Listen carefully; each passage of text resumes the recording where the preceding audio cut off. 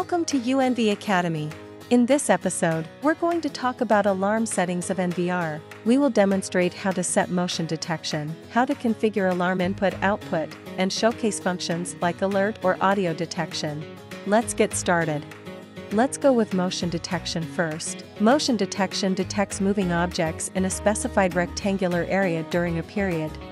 It is enabled on the NVR with a full screen detection area by default.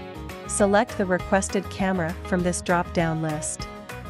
Make sure motion detection is enabled. Specify the desired detection area by dragging the mouse pointer to clear the grids. We can click Clear All, then specify the area too.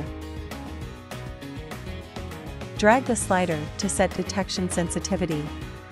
The higher the sensitivity, the more likely a moving object will be detected. If an object inside the detection area moves to a certain extent, an alarm icon appears in the upper right corner.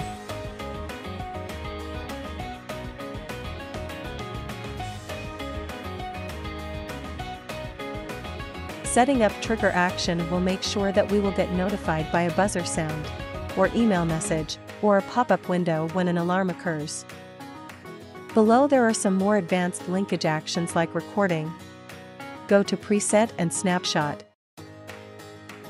Set up the arming schedule if we want motion detection to work during some specific periods. Next is tampering. The tampering detection alarm occurs when the camera lens is covered. Trigger action and arming schedule are both supported by this function.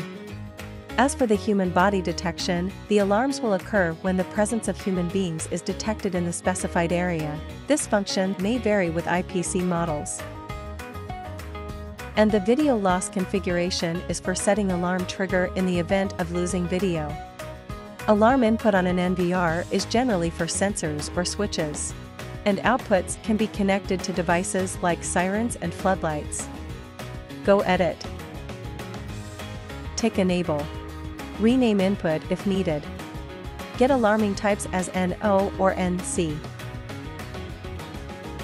NO means normally open connection, and NC is normally closed connection.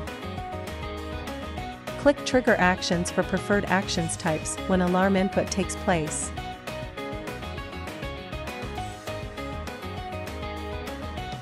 Click Arming Schedule for scheduling arming time as requested. Let's move on to Output Setting. Click Edit. Select Default Status. We can customize the signal output duration from 1 to 3600 seconds. Or choose Maximum option to output signal continuously. Select relay mode between bistable and monostable. NVR might encounter issues like IP conflict, network disconnected, and disk offline for a more stable and safer operation.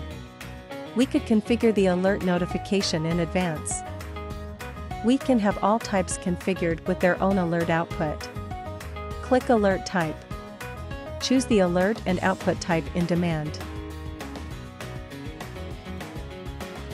Audio detection can be a very reliable way to capture a sudden change in sound volume or other important sounds that need to be recorded.